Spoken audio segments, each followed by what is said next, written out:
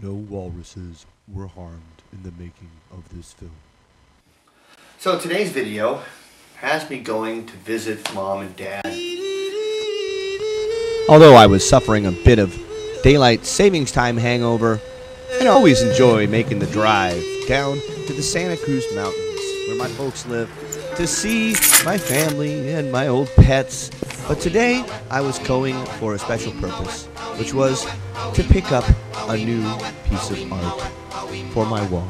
You see, my mom is an artist, and she makes animal heads that hang on the wall like trophies, but nothing has to die. So, bear with me. I'd like to show you some magnificent creatures that will really make you howl.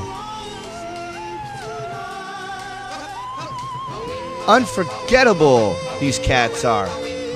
Each one is handmade, even the remarkable antlers. But you know, I always knew, that's right, I knew that there was a special creature that Gorilla liked to have hanging on my wall at my new place.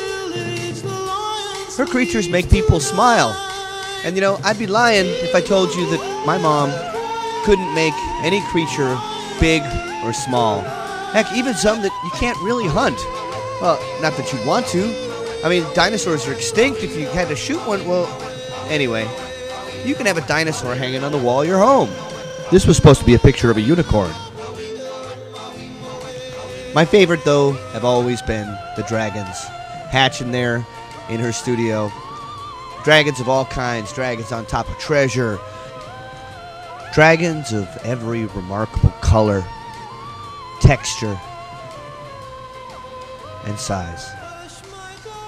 Thank you, Mom, for giving me a dragon. I really appreciate it. I hope this video is some type of repayment and tribute. So visit animalhead.com